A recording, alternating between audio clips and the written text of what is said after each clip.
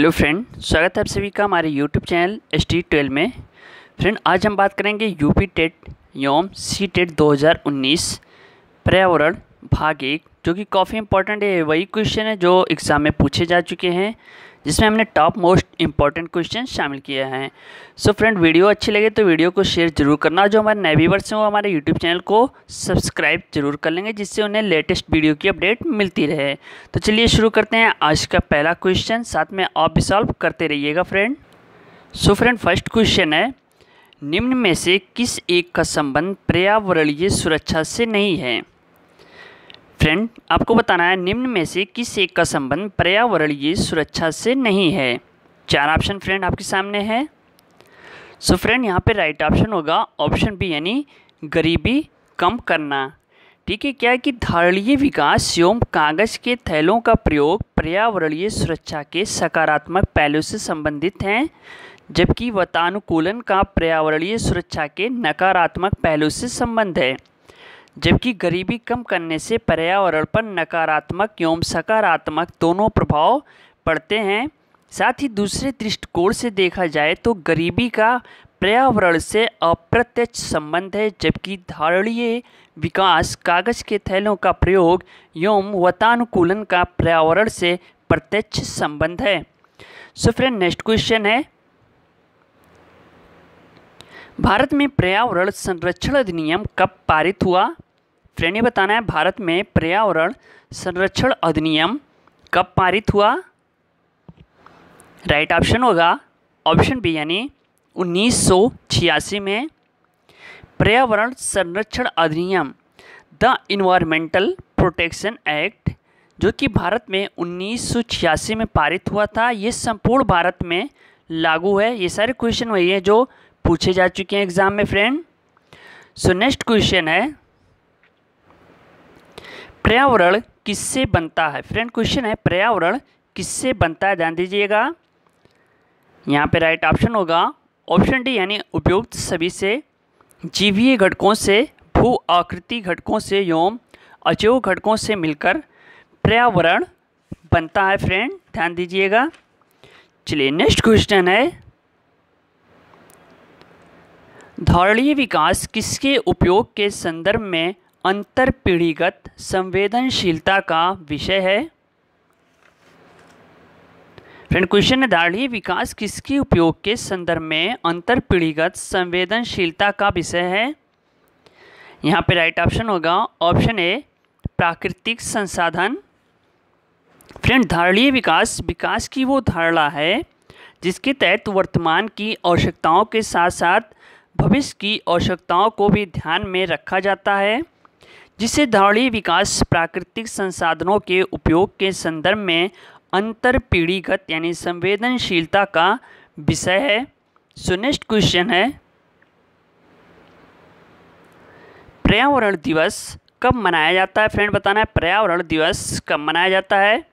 Friend इसका answer आप लोग कमेंट बॉक्स में हमें कमेंट करके बताइएगा। काफ़ी इजी क्वेश्चन है। विश्व पर्यावरण दिवस कब मनाया जाता है?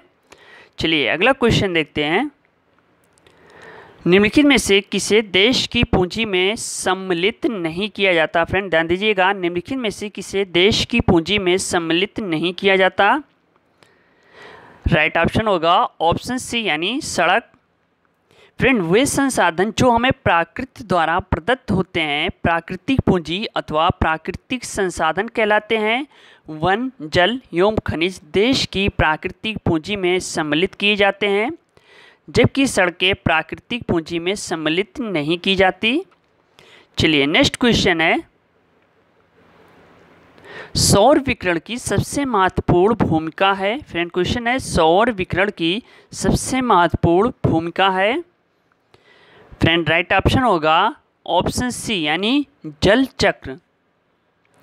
फ्रेंड, जल चक्र में सौर विकिरण की सबसे महत्वपूर्ण भूमिका है। सौर विकिरण जल चक्र को चालित करता है और जल का वाष्पीकरण करता है। बर्फ़ का जल में ध्रुवीकरण होता है एवं जल चक्र हाइड्रोस्फीयर में जल की विभिन्न गतिविधियों को दर्शाता है। प्रकृति में जल चक्र को निम्न प्रकार से प्रदर्शित किया जा सकता है। सो फ्रेंड नेक्स्ट क्वेश्चन है। राष्ट्रीय पर्यावरण अभियांत्रिकी शोध संस्थान कहाँ स्थित है? फ्रेंड, बताना है, राष्ट्रीय पर्यावरण अभियांत्रिकी शोध संस्थान कहाँ स्थित है?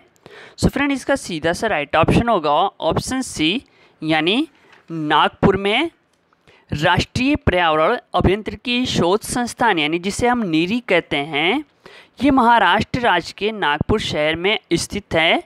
इसकी स्थापना उन्नीस सौ अट्ठावन में हुई थी। ध्यान दीजिएगा, उन्नीस सौ अट्ठावन में केंद्रीय लोक स्वास्थ्य इंजीनियरिंग शोध संस्थान के रूप में वाटर सप्लाई सीवरेज प्लान, इससे संबंधित बीमारियों एवं औद्योगिक प्रदूषण की रोकथाम के क्षेत्र में शोध एवं विकास के लिए की गई थी। सो फ्रेंड नेक्स्ट क्वेश्चन है।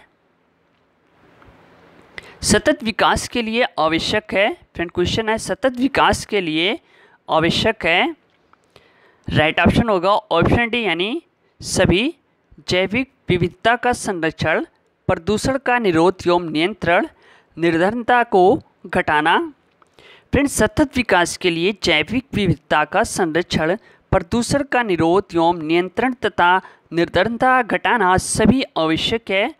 प्रकृति की अपनी सुंदरता है, अपनी सीमाएँ हैं अतः हमें चाहिए कि पहले हम प्रकृति को समझने का प्रयास करें, उसके बाद अपनी विकास नीतियों का निर्धारण करें।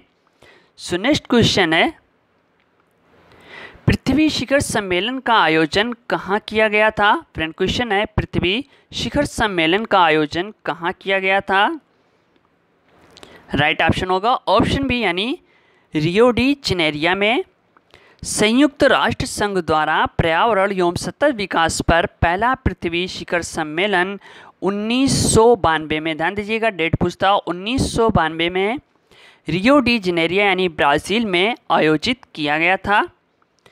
सो फ्रेंड, नेक्स्ट क्वेश्चन है, रियो बीस घोषणा पत्र का शीर्षक क्या था? फ्रेंड, ये बताना है, रियो बीस घोषणा पत्र का शीर्षक क्या था? राइट ऑप्शन होगा option A the future we want so next question है, पृथ्वी के चारों ओर गैसों के समूह को क्या कहते हैं? फ्रेंड क्वेश्चन है, पृथ्वी के चारों ओर गैसों के समूह को क्या कहते हैं? राइट ऑप्शन होगा ऑप्शन सी यानी वायुमंडल पृथ्वी के पारित यानी विद्यमान गैसों के समूह को वायुमंडल कहते हैं। इसमें नाइट्रोजन, ऑक्सीजन, कार्बन डाइऑक्साइड तथा अन्य गैसें पाई जाती हैं फ्रेंड। सो नेक्स्ट क्वेश्चन है।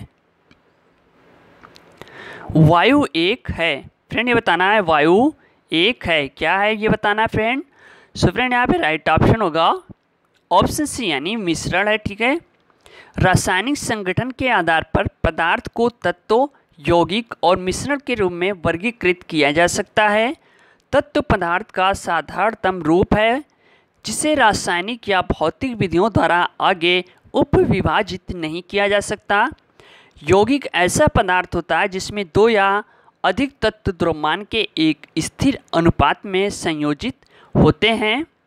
सो फ्रेंड, मिश्रण ऐसा पदार्थ होता है जिसमें दो या अधिक तत्व या यौगिक किसी भी अनुपात में साधारण रूप से मिश्रित होते हैं फ्रेंड। सो नेक्स्ट क्वेश्चन है, शुष्क मात्रा में नाइट्रोजन की मात्रा होती है। फ्रेंड, शुष्क हवा में, सॉरी, यहाँ पे हवा रहेगा, शुष्क हवा में नाइट्रोजन की मात्रा होती है। फ्रेंड, राइट ऑप्शन होगा, ऑप्शन डी, यानी अठहत्तर परसेंट, यानी शुष्क हवा में नाइट्रोजन की मात्रा जो होती है वो 78 परसेंट होती है। सो नेक्स्ट क्वेश्चन है, निम्नलिखित नोबेल गैसों में से कौन सी वायु में नहीं पाई जाती? फ्रेंड आपको बताना है, निम्नलिखित नोबेल गैसों में से कौन सी वायु में नहीं पाई जाती? यहाँ पे फ्रेंड राइट ऑप्शन होगा ऑप्शन सी यानी रेडान।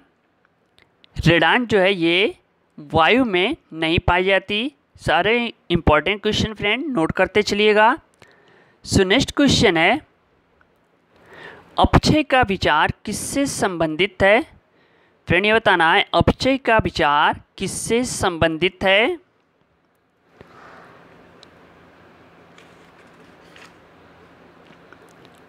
फ्रेंड राइट ऑप्शन होगा ऑप्शन सी यानी एक प्राकृतिक क्रिया जो चट्टानों को सूक्ष्म कणों से विभक्त करती है, अपचय के विचार से संबंधित है। ध्यान दीजिएगा, कई बार एग्ज़ाम में आया फ्रेंड सो नेक्स्ट क्वेश्चन है। विश्व मौसम विज्ञान संगठन का मुख्यालय कहाँ स्थित है? फ्रेंड आपको बताना है, विश्व मौसम विज्ञान संगठन का मुख्यालय कहाँ स्थित है?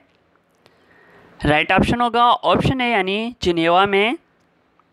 विश्व मौसम विज्ञान संगठन, जिसे हम डब्ल्यू एम ओ के नाम से जानते हैं, संयुक्त राष्ट्र की एक विशेषक एजेंसी है जो पृथ्वी के वायुमंडल की दशा और व्यवहार का अध्ययन करती है।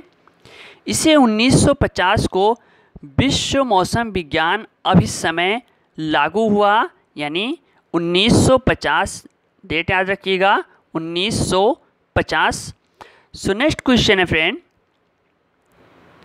U N E P का मुख्यालय कहाँ स्थित है? फ्रेंड क्वेश्चन है यू एन ई पी का मुख्यालय कहाँ स्थित है? राइट ऑप्शन होगा ऑप्शन सी यानी नैरोबी में। फ्रेंड संयुक्त राष्ट्र पर्यावरण कार्यक्रम यानी यूनाइटेड नेशंस इन्वायरमेंटल प्रोग्राम की स्थापना उन्नीस बहत्तर में हुई थी। ध्यान दीजिएगा डेट उन्नीस सौ बहत्तर में यू का स्थापना हुई थी। इसका मुख्यालय नैरोबी यानी केन्या में स्थित है। चलिए नेक्स्ट क्वेश्चन है। ईपीए का पूर्ण रूप है। फ्रेंड आपको बताना है ईपीए का पूर्ण रूप है। राइट ऑप्शन होगा। ऑप्शन सी यानी एनवायरमेंटल प्रोटेक्शन एजेंसी संयुक्त राष्ट्र अमेरिका की संघीय एजेंसी है। इसकी स्थापना 1970 में हुई थी फ्रेंड, ध्यान दीजिएगा 1970 में की गई थी ये मानव स्वास्थ्य एवं पर्यावरण संबंधी नियमों के निर्माण एवं प्रवर्तन से संबंधित है।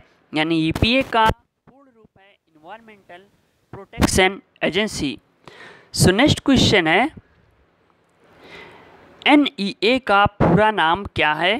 फ्रेंड ध्यान दीजिएगा एन ई ए का पूरा नाम क्या है? फ्रेंड यहाँ पे राइट ऑप्शन होगा option B national environmental authority